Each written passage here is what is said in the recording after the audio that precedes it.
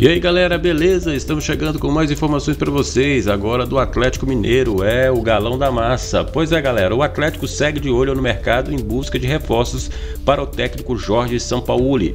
Clube tenta a contratação de jogadores para lateral direita, zaga, meio campo e ataque. No meio, o clube alvinegro iniciou conversas com o Independente Del Valle, do Equador, pelo jovem atacante Alan Franco, de 21 anos. Franco pode jogar como volante ou armador. Na temporada passada, marcou dois gols em 33 partidas pelo Del Valle. Ele foi titular absoluto da campanha da equipe equatoriana, campeã da Copa Sul-Americana. É isso aí, galera. Essa é a notícia de momento do Atlético Mineiro. Fiquem ligados, a qualquer momento podemos voltar com mais informações para vocês. Um abraço e até lá. Tchau.